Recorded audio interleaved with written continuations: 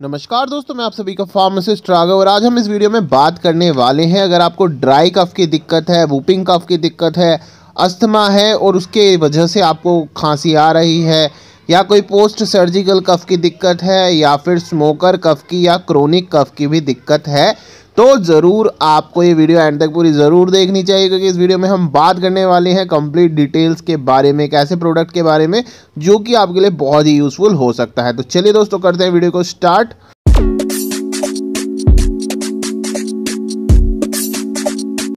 दोस्तों, आज हम इस वीडियो में बात करने वाले हैं टोरेक्स टैबलेट के बारे में और हम जानेंगे कंप्लीट इन्फॉर्मेशन लाइक इसका यूज़ क्या है, इसको किस तरह से यूज़ करना चाहिए फॉर 100 परसेंट रिज़ल्ट तो वीडियो के अंत तक पूरा ज़रूर देखना। तो चलो, बात कर लेते हैं सबसे पहले बेसिक्स के बारे में। टोरेक्स टैबलेट जो ये है टॉर्क फार्मास्यूटिकल्स का प्रोडक्ट है टेन टैबलेट की स्ट्रिक स्ट्रिप आपको पड़ेगी छियासठ रुपये समथिंग की और छः सात रुपये पर टैबलेट आपको कहीं भी इजीली मिल जाएगी। और अगर हम इसके कंपोजिशन की बात करें ट्रिपल कंपोजिशन में आता है डेक्सोमिथार्फन हाइड्रोब्रोमाइड है टेन एम स्ट्रेंथ के साथ में फिनाइल एफिनेफ्रिन हाइड्रोक्लोराइड है, पाँच एम स्ट्रेंथ में क्लोरफिनार्मिन मैलिएट है, इसके अंदर टू एम स्ट्रेंथ के साथ में। और दोस्तों, अगर हम यहाँ पर बात करें तो डेक्सोमिथार्फन हाइड्रोब्रोमाइड होता है। ये बेसिकली म्यूकोलाइटिक एजेंट होता है, जबकि फिनाइल एफिनेफ्रिन और क्लोरफिनार्मिन जो ये होते हैं, ये कफ सप्रेसेंट के तौर पर काम करते हैं और बहुत ही अमेजिंग इनका रिज़ल्ट होता है एज अ कॉम्बिनेशन थेरेपी में।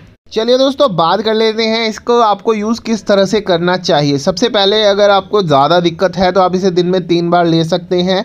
गर्म पानी के साथ लेंगे तो ज़्यादा बेटर रहेगा और ये अडल्ट के लिए है, बच्चों में इसे ना यूज़ करें तो बेटर रहेगा। बच्चों के लिए आप सिरप चूज़ कर सकते हैं, इसका सिरप भी आता है। अगर ज़्यादा दिक्कत नहीं है तो आप इसे दिन में दो बार ले लें। अगर ज़्यादा दिक्कत है, बोले तो ज़्यादा खांसी हो रही है तो दिन में तीन बार ले लें और इसके साथ में कोई एंटीबायोटिक भी लेंगे तो आपको बहुत अच्छा रिज़ल्ट मिलेगा। और दो तीन चीज़ों का विशेष ध्यान रखें, चावल, दही, ऐसी ठंडी चीज़ें अपनी डाइट में ऐड ना करें और इसको भी अगर ले रहे हैं तो गुनगुने पानी के साथ लेंगे तो आपको बहुत ही अमेजिंग रिज़ल्ट मिलेगा।